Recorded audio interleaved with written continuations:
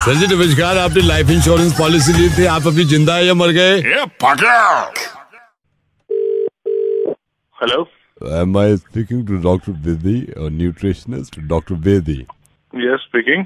Who's this? मैं अतुल बोल रहा हूँ मेरे को आपसे एक तो अपॉइंटमेंट लेना था एंड यू नो थोड़ा वेट से परेशान हूँ मैं तो मुझे आपको दिखाना था सर एक बार तो ठीक है आप एक अपॉइंटमेंट ले लीजिए।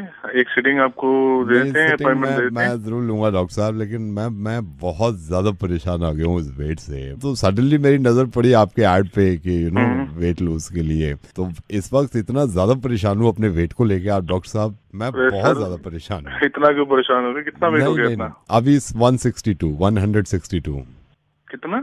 162 एक सौ बासठ के जी है अभी। इतना कैसे हो गया। एक्चुअली फ्रिज नहीं है ना घर पे हमारे। फ्रिज नहीं है? हाँ फ्रिज नहीं है। तो इसका आपके वज़न से क्या मतलब है? तो वो सारा खाना जो बचता है कहाँ रखें फिर?